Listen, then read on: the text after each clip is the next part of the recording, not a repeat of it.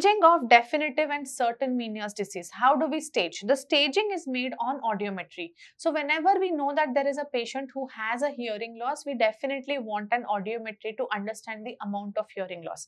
So stage 1 is when the hearing loss is less than 25%, stage 2 26 to 40 decibels, 3 is 41 to 70 and stage 4 is more than 70 decibels hearing loss. So based upon the pure tone average, you're going to stage the patient is in stage 1, 2, 3 or 4. Coming to the treatment part of Meniere's disease.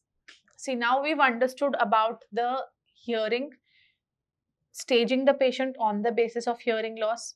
We've understood the test for vertigo. We've understood how to diagnose the vertigo, the investigation of choice, the scales that we have from the patient, patient reported scales in terms of their functional disability. So when we are sure the possibility is Meniere's disease, how are we going to start the therapy? Always dietary restriction is something that we should explain the patient. Reduced salt intake, reduced water intake, reduced caffeine intake. These are some things that is a must.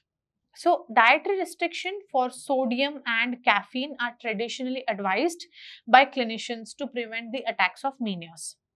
Medications with diuretics still form one of the first line medical therapy in many clinics. So you can give acetazolamide or hydrochlorothiazide or a combination of both for patients who have this. But typically because of use of diuretics, they can have excessive diuresis, excessive urination, sodium and potassium imbalance and hence that requires certain amount of monitoring. But a low dose of acetazolamide or hydrochlorothiazide can be given in patients with Meniere's. Betahistine. Beta histine is a drug that is commonly used in the treatment of vertigo. It is a labyrinthine suppressant. So this labyrinthine suppressant will suppress the inner ear and the receptors which are improperly functioning and just control the disease. Sometimes it can also help in resolution but it is typically used for control of vertigo. Can we give anti-allergic therapy? Yes, because we know allergy is a predisposing factor. Should we put the endocrinological problems in control, like say hypothyroidism being corrected, hypoadrenalism being corrected, hypopituitarism being corrected? Yes. Should we also make the patient sure that um, if there is a allergy, autoimmune or an endocrinological pathology, can we give a dose of steroid? Yes. So steroids also may be used but with care. Now, which form of steroid would be the best for patient? Would it be the systemic steroids? Or would it be the intratympanic steroids? Now, systemic steroids we know has a very less bioavailability in the inner ear and intratympanic steroids can have a higher bioavailability. Systemic steroids will have a lot of adverse effects. Intratympanic steroids will have less adverse effects. So, intratympanic steroids have evolved as one of the important treatment in patients with Meniere's disease. So, when we have patients with Meniere's, we are going to treat the patient with in the acute episodes with labyrinthine suppressants, with vasodilators. For a chronic therapy, you can give betahistine, you can give diuretics as the medical treatment of choice. Now, transtympanic and intratympanic therapies are something that is coming into popularity. There is a device called as the Meniett device. What is a Meniett device? It is a transtympanic low pressure therapy.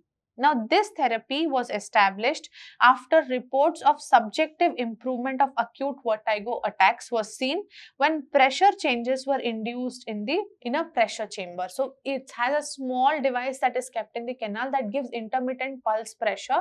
This intermittent pulse pressure has so shown to reduce the number of attacks and subjective improvement in patients who have acute vertigo. Now, based upon these reports, Meniett's device was conceived producing repeated 0.6 second pulse low pressure transmitted through the ventilating tube. The treatment consists of 3 to 4 cycles of a 5 minute treatment sequence. So, you are going to give a pressure of 0.6 for 0.6 seconds pulse. How many times? 3 to 4 times and how many times each cycle? 5 minutes treatment cycle.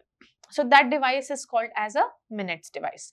Intratympanic steroid, I've told you through the tympanic membrane, you're going to uh, instill the drug in the middle ear and through the round window membrane, the drug is going to get absorbed into the inner ear. Now, the mechanism of how steroids act on the inner ear is because it will result in uh, homeostasis of the transmembrane water transporters, the aquaporins, which have got dysregulated. So, it will regulate them and improve the function. If intratympanic steroids fail, then what do we have as a treatment option? To destroy the labyrinth. So we can give aminoglycosides, intratympanic gentamicin to destroy the labyrinth.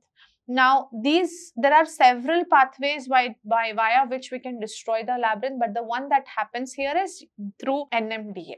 So NMDA is getting destroyed and because of which the patient's labyrinthine function will not be at its best and hoping with this that the symptoms of vertigo will come down. But the patient can have a permanent sensory neural hearing loss.